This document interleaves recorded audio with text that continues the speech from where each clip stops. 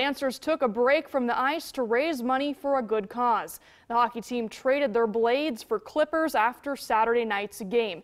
And this is video of the players, coaches, and staff shaving their heads to raise more than $15,000 to beat cancer. The money went towards the Leap for a Cure, Cure Works to help fund research, treatments, and raise awareness for brain cancer in the Omaha area.